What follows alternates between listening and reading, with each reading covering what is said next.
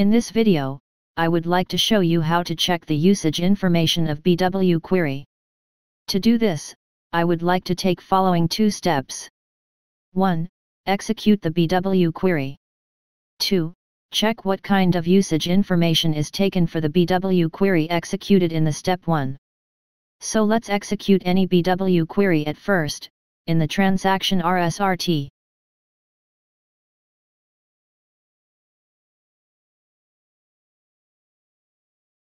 It is okay to execute any BW query here.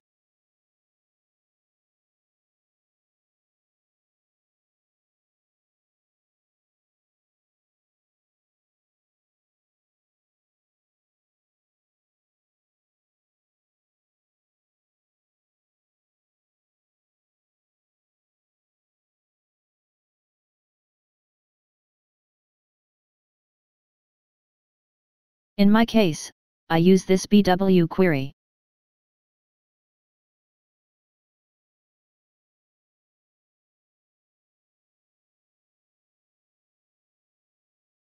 Here is the technical information of this BW query.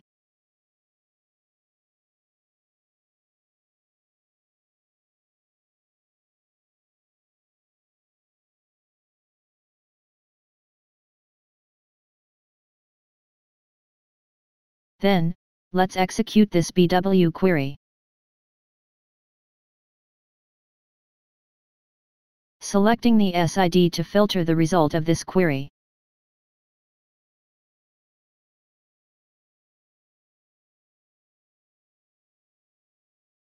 And select the date to be shown in the result.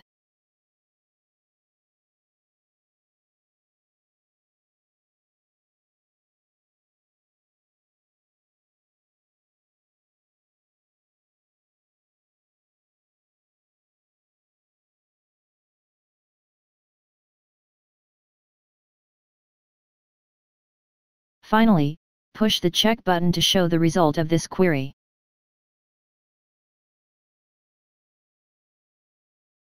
Here is the result. Then the objective of step 1 is finished. To check this usage information, let's go to the transaction SE16. The usage information of BW query is stored in this table, so let's check this table's contents. To filter the result, input the username, and info provider's name. Then, push the execute button.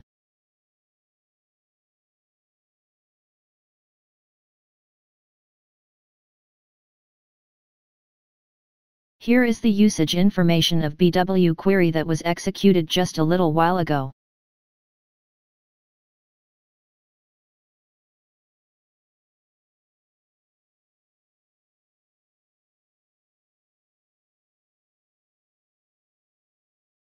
Even the information to get SID value by F4 help, is listed like this.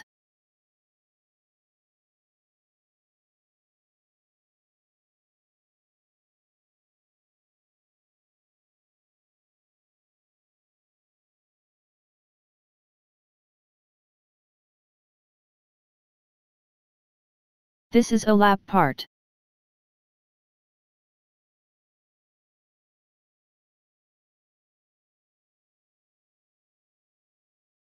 There are many entries are taken like this, even for one execution of BW query.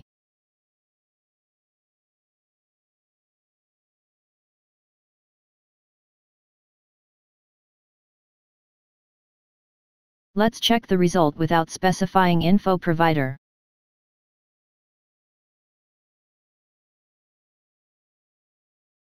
Several entries which were executed at the same time frame are shown like this although they have no info provider's name.